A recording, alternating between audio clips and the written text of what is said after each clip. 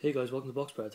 Um, just going to give my brief thoughts really on uh, the fights that happened on the weekend. I believe it was September the 15th. And uh, yeah, so let's get started. Um, the first fight was a World Cruiserweight fight, which was in Germany. Uh, and that was Yoan Pablo Hernandez going up against Troy Ross. And uh, yeah, it was a really good start uh, to the evening, uh, that main event. Um, I thought it was a really good fight. Um, Troy Ross actually uh, hurt Hernandez quite badly, had him uh, on the rocks. Um, and he was really catching Hernandez with wild swings, really. Um, you know, quite dangerous. And he did show some flaws of Hernandez in that fight, and it was quite um, interesting to see how easily he actually could get to Hernandez. Um, because there's obviously talk of um, Hernandez fighting Marco Huck in the near future. And, um, you know, Hernandez won the unanimous decision in that one. Now, um, I thought a draw or perhaps a point either way would have been a fair result because Hernandez did hurt Troy Ross a bit later on in the fight. Um, so and overall, it was it was a close fight. I predicted Ross by majority decision, um, and it could have happened, but it so happened that uh, Hernandez got the decision. I agree with the, I think it was, I the first score. I'm not sure what it was. I think it might have been a point in favour of Hernandez. But then the other two scorecards of I think it was 115, 112, 116, 112 in favour of Hernandez. I really disagree with them two scores, and I thought it was that wasn't uh, really you know the best judging in the world. But it is what it is. Uh, Ross put up a good show. I'll be honest with you. Um, you know, you I wouldn't go against seeing a rematch because I think it was that it was a close fight and it was a it was a you know a good fight. Both guys um, were hurt at points in the fight, and it, it, was quite an exciting fight. And just a side note on the undercard of that fight, um, Edmund Gerber went up against Michael Sprott, and um, Michael Sprott was actually doing pretty well in that fight. Um, I think he, he established a jab and he was doing pretty good. Um, but then in the fourth round, he got caught. I think it was a right hand and went down quite viciously. Really, he sort of when they go, the fighter goes down and hits the back of his head on the canvas, and you could see Sprott's eyes were all over the shop and um, the referee stopped the fight. You got up and took an eight count, whatever it was, and uh, the referee stopped it. Somewhat, you could argue prematurely, but because Sprott seemed to be kind of still with it, um, and he actually uh, went over and kind of uh, pushed the ref two or three times, and the ref fell over on the third, went over on the third push, and um, it caused a little bit of controversy there. Uh, Michael Sprott attacking the ref. It was quite quite amusing, quite entertaining. But uh, hope I don't know what's coming of that. Hope they you know he did hug the referee afterwards, gave his apologies. I, I guess. Uh, hopefully, nothing nothing came of it. Um, just the heat of the moment type thing. He was ang- angered at being stopped, but um, I don't know if anything's any of any news on, on that front, but just thought I would give it a mention because it was something that happened that was quite amusing. Um, you know, don't really condone fighters sort of pushing, you know, attacking the referee after the decision or early stoppage, but it wasn't that serious. Um, you know, but uh, it was just something fun that happened. Moving on, um, Leo Santa Cruz defeated Eric Morel by TKO in the fifth round. I haven't seen the fight, um, but I thought I'd mention it because I've heard really good things about Leo Santa Cruz. Quite a few guys on Twitter, I did see mentioning that they you know rate him, um, and I think he a few few guys do see him as a, a real talent for the future now.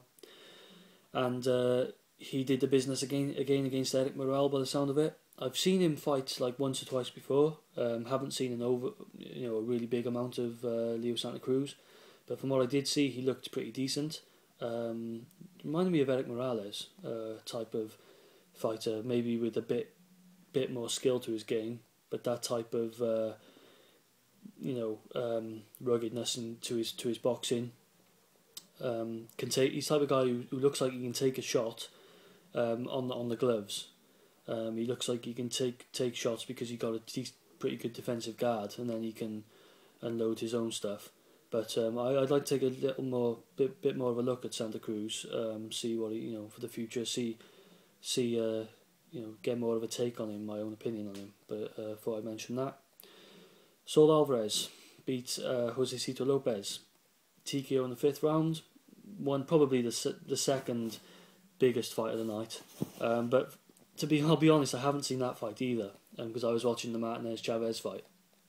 But uh, from what, from by all accounts, from what what other guys are saying, um, it's what most of us expected that Josesito Lopez wasn't right at that weight. He's too small to be fighting at that weight right now against uh, Saul Alvarez, and Alvarez's power um, came through. Um, that was another one that I gave a prediction on. I think I gave something like round eight, off the top of my head, I can't remember. Stoppage for Alvarez, but it came earlier, um, and it seemed, it sounds like it went as we much expected. But I'll be definitely trying to check these fights out that I haven't caught. Uh, I'll check them out soon. Um, Ponce de Leon went up against Johnny Gonzalez. Johnny Gonzalez putting his title on the line. Um, I actually was disappointed with this fight. I thought two pretty big punches. I thought it would have a bit more action than it did. Um, I thought that both guys were actually quite cautious because of their opposite, their opponent being a big puncher, I guess. Um, and Ponce de Leon, uh, I think he had a cut high on his head, on his hairline early in the fight, and uh, but then I think I believe Gonzalez got cut, and this was stopped and Ponce de Leon got a technical decision in the eighth round. Um, I think Gonzalez got cut, and it was a really bad gash. Uh, I think it was above the eye, and it was just they didn't let it continue, and Ponce de Leon was up on the scorecards. Um, I think it was quite a wide margin as well. I think he had, had really sort of, from what I when when I was watching it, I I thought Gonzalez would deal with Ponce de Leon a bit better than he did. I think Ponce de Leon managed to get on top of him in that fight, and uh, yeah, it, this happens. Technical decision. Gonzalez lost his title. De Leon gets uh, gets the title. Um, but all in all, a bit of a disappointment. I thought we were going to see a bit more excitement, a bit more training of punches, um, a bit more of a war, if you like. Uh, but it didn't didn't turn out that way. And then uh, let's move on to uh, Marcos Maidana against uh, Jesus Soto. Uh, what a fight! What a fight! Um, real all-out war. Um, Karass took, you know, he was he, he reminded me of um, Olusegun last week against Lucas Matthysse. This was very much a similar thing where he was just taking shots, and uh, Karass, you know, you can expect he's he's got a good chin. He's got a lot of heart. He will fight. He will have a war with you. He's been in there with other other top guys, and uh, he was doing a pretty good job of trying to hold his own. Karass, you know, he there were times when he was on really on top of Maidana and pushing Maidana back and he was a bigger guy than Maidana, to be honest. In all fairness, but I was very impressed with Maidana. Um, the, the the the work that Robert Garcia must have been doing with him is working out very well. Maidana was throwing a jab. Um, he was doing things in there, uh, technically technical things that you just don't expect from Maidana, and it shows that you can always look to improve your game. And I think that Malcolm Maidana, one one thing that really uh, you know will will work good for going forward for him. I think was the way he was throwing the right hand. Now in the past, I've said that Marcos Maidana, his one of his weaknesses maybe is the, the wide punches he throws. You know the the rawness of his punches, the lack of technique. He, he you know he he would throw that right hand, although it's a very dangerous right hand. He would throw it very much with sort of a big loop, and it was very technically, you know, it was unfinished. Like a um, it was sort of a, an unrounded skill of his. It was just a bit of a raw skill, and you could sort of he telegraphed it, and you could see it coming. Um, but the, the right hand he actually put Soto down with in this fight, if you look at it, it was a very straight right hand. He was throwing a good straight right hand, um, and you know, and, and he was he was using the jab in front of it. He was setting it up as well, which was very good to see. And I think um, you know if he carries on down this route, we can see some good things still to come from uh, Marcos Maidana. Um, so I was impressed with him in that fight. The way he was throwing his punches, a lot straighter. He was waiting and picking his opportunities as well. Um, he wasn't just rushing forward and perhaps uh, in that raw style that we used to see in him. Um, so I thought it was a well polished performance against a guy who was not easy to break down, and he was no walkover. Karass, He was a difficult guy. He gave Maidana something to think about. All in all, uh, a very good fight. Uh, really enjoyed it, and Maidana got the stoppage in, in the eighth round by TKO. Um, Matthew Macklin uh, against Joachim Alcine. Uh, I will be honest, I thought Macklin would look very good in this fight. I thought he would come out and look good, but I thought he would dominate and get a unanimous decision. Um, I thought, you know, Macklin will prove a point. He's uh, still at the top top of the division. He's still got you know plenty to offer against the top guys. I feel, and I thought this would prove it. I didn't think he would get the stoppage in the first round, first round KO. Um, you know, um, he caught Alcine with a, beautiful right hand shot. He was patient because Alcine looked a bit cocky in there, trying you know sort of turn his back at times almost, um, and he just wasn't with it. He just wasn't wasn't. Uh, you know, up to being in the ring with a, with a guy who's who's who's you know fighting at the top level in that division at the moment, and uh, he got what was coming to him when uh, Macklin stopped him with that, you know, hurt him with that right hand, and then went on to stop him up, against the ropes. So very good performance by Macklin, short but sweet, and uh, let's see him in another top fight. That's what I say. Roman Martinez against Miguel Beltran Jr. Um, now this was a close fight. I watched a bit of it and I turned over to watch the Ponce de Leon Gonzalez fight because I was really looking forward to that one, and I thought, you know, that would be the one to watch. How wrong I was.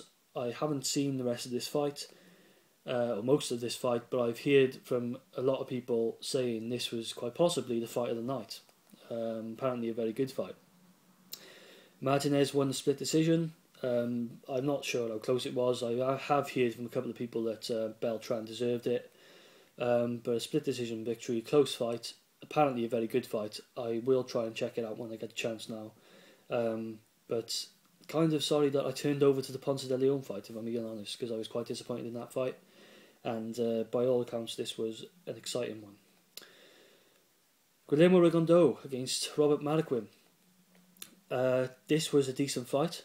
Um, I predicted, did a prediction for this fight as well. Um, I actually thought Rigondeaux would stop him around the eighth round. I think I said. Uh, it didn't happen that way. Uh, Rigondeaux won the unanimous decision, unanimous decision, but like I said in my preview prediction, what I thought this with this fight is that Marroquin would surprise us by how competitive he actually was, and he proved that way. You know, he was competitive um, during the fight. Okay, he wasn't close enough on the scorecards to take a decision, but he did catch Rigondeaux a, a couple of times with counters, um, and he showed you know, a good defensive sound base, and he showed that he's going to be competitive in the future against other top guys in the division, perhaps. Um, you know, um, was able to pull through, but um, and he he did. I think did he put Marroquin down late in the fight? I think he might have done, but uh, all in all, Marroquin showing a competitive, be to be a competitive opponent, and, and definitely a guy who's no pushover, definitely a guy who can be um, perhaps quite competitive at the top level in this division. And last but not least, the big fight of the night was Chavez Jr. going up against uh, Sergio Martinez. Um, you know, let's keep it positive. It was, um, I thought, although it was a dominant victory, you know, let's face it, a very dominant victory for Sergio Martinez. I thought it was still a good fight to watch. I still enjoyed watching that. I enjoyed watching Martinez at the top, at the height of his game, showing uh, tremendous skills. Uh, and Chavez did give us, you know, some value for money. He hung around in there, and like we see, you know, what a what a great twelfth round that was um, to catch Martinez. Like everyone else, I was up out of my seat, um, willing Martinez to uh, hang on in there, um, and not undo all the hard work he'd done throughout the fight. He just he lost a bit of concentration there. I think he thought the fight was won when it wasn't, and it's always dangerous going into the last round against a guy who knows he needs a knockout and Chavez Jr. was able to to give the crowd, um, you know, just that last great round of that fight. Um, on on thoughts on the rematch, I'm not sure. You know, um, he was thoroughly outboxed Chavez Jr. I think he's competitive because of the weight. I, I, you know my thoughts if you looked at previous videos on Chavez Jr. I think he's competitive in this division because of the weight he's in. Um, I don't think he's you know anything special as a boxer. Um, he's he's a pretty, he's a good boxer, but he's not you know, I wouldn't say if he was fighting at that weight, I think he probably would have got knocked out against Martinez. You know, I predicted a stoppage later in the fight. I think I said round 10. Um, I was wrong. he, he hung in there. But it, you know, uh, we now hear Freddie Roach was threatening to stop the fight if he didn't show him something. I think if he'd been down at that uh, that same weight, the same weight as Martinez on the night, I think that uh, if he didn't have that size advantage, he probably would get stopped like the other guys did. And I think it puts into perspective, you know, the good performance that um, Darren Barker and Matthew Martin put in against Martinez, because they did a hell of a lot more than Chavez did, um, and he's you know now maybe Macklin against Chavez Jr. might be a good fight. Personally, I, I still don't agree with Chavez fighting in that division. Um, I I feel that you know maybe his his skills and like I say his abilities and how he how well he does in fights is kind of overridden by this by his size by the fact that he's just coming in so much bigger sometimes up to cruiserweight size um, that just puts into perspective the actual feat the actual performance of Martinez to dominate a guy who is possibly a weight or two divi- division wise above him um, to, to dominate him in that way. It shows the skills and power of Martinez. Um, so moving forward, I really, I'm not personally fussed on the rematch. I think that yes, he caught Martinez in the twelfth round because Martinez was, uh, perhaps took his, you know, concentration fell a bit. I don't buy this thing about Chavez Jr. not picking it up in the early earlier rounds. I don't buy this thing that he could have started early in the fight to try and hit Chavez, hit uh, Martinez. I think there's a reason he didn't. It's because he was getting hit himself. If you know, if he felt he could have gone in and and you know, took a shot at Martinez earlier on, he would have done. Trust me. Um, I think that okay in the rematch maybe he'd do a bit better. Maybe he had more, he'd have more of a chance of starting earlier. But then you got to be be aware that Martinez also would have things on his side in the rematch. He would be able to, um, you know, he has an understanding of what Chavez Jr. is capable of now. Um, and he can take that 12th, learn from that 12th round as much as Chavez can, in my opinion. So that's my take on the fight. Um, I was I just was happy to have such a great weekend of boxing. Really, some really um, brilliant fights. Even uh, probably a couple that I haven't listed here that happened, which were, were probably good as well. Um, but this video is going on a bit, and I'm going to leave it there. Um, thanks for watching, guys. Please let me know what you felt of, about the weekend. But that's my thoughts on on uh, what happened on the 15th September. Thanks for watching.